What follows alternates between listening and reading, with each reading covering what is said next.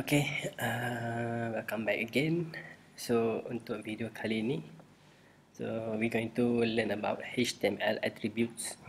Okay, HTML attributes. Okay, so dalam HTML so we have these HTML attributes that provide additional information about HTML elements. So before this, we have learned about HTML elements like image, paragraph, body, head, and so on. So now we're going to learn about their attributes. Okay, so they provide additional information about HTML elements. So these attributes, these are the example of attributes we're going to learn for these sessions. Okay, these attributes can uh, these HTML elements can have attributes. So these are the attributes Attribute provide, uh, attributes provide additional information about an elements. Okay, and then they are always specified in the start tag or opening tag. So attributes usually come in name or value pair like this one. Okay, so this is the name or maybe size and this is the value 14 pixel the name and the value. So these are the attributes. Okay.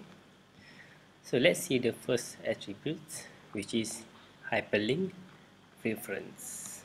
Okay. So we start with save it as html file css okay. Html my personal project save this file as attributes.html save this file. Okay so the power of sublime. Okay html attributes. Okay we start with hyperlink reference. Okay so this attribute, the HTML links attributes are defined with the A tag. Okay, the A tag. So the attributes will be the link address is specified in the hyperlink reference attributes. So we have learned in a basic HTML. So hyperlink reference. So this is the attributes. What is the value? Equal to double quote http dot www.google.com so these are the attributes. Okay. Link to google slash a. So these are the elements these are the attributes and these are the value. Okay. For hyperlink reference alright hyperlink reference. Now we go to src or we call it as source. Okay this one.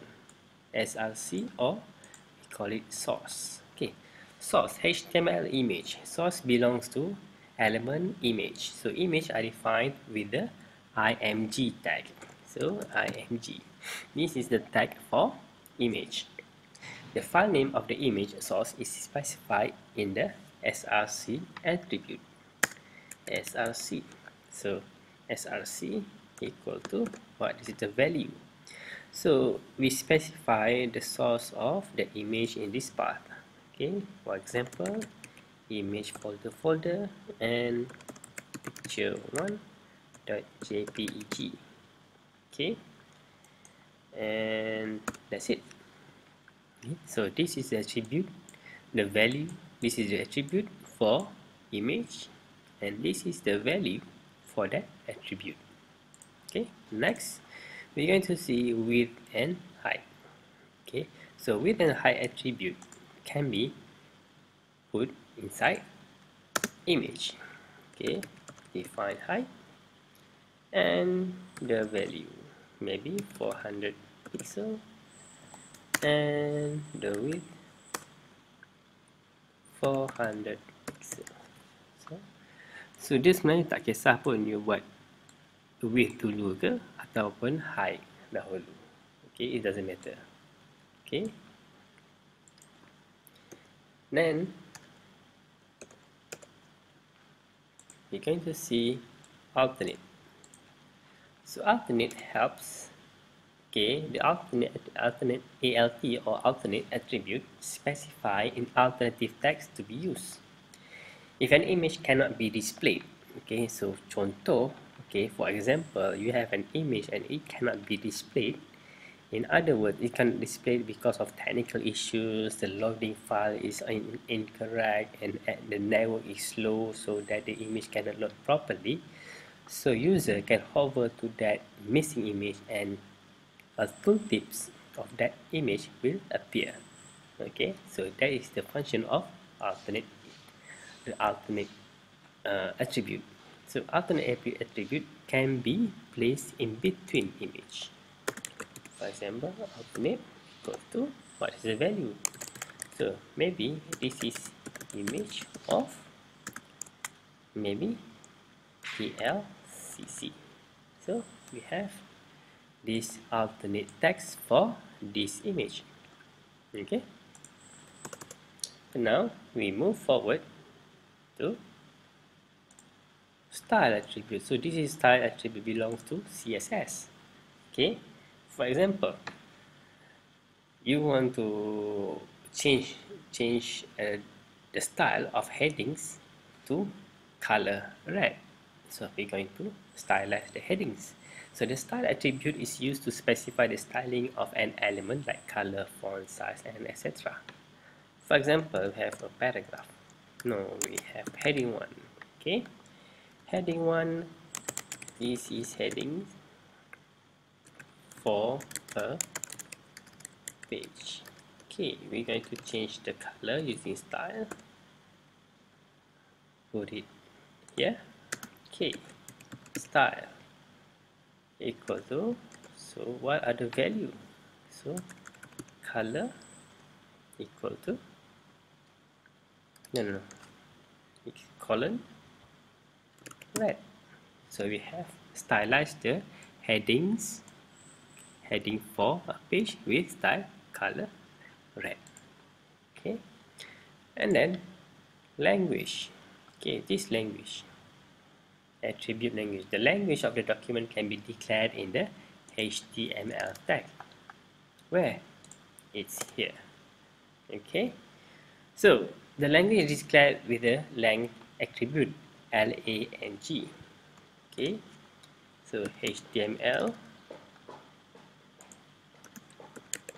language. Okay. So maybe you want to say it is English US or English Britain. Okay, you declare in this site HTML language English. So declaring a language is important for accessibility applications such as screen readers and search engines. Alright? And then last attribute is title. So title here, a title attribute is added to the paragraph elements. Okay, the value of the title attribute to be displayed as a tooltip when you mouse over the paragraph. So we're going to create a paragraph. Okay, so paragraph start with title.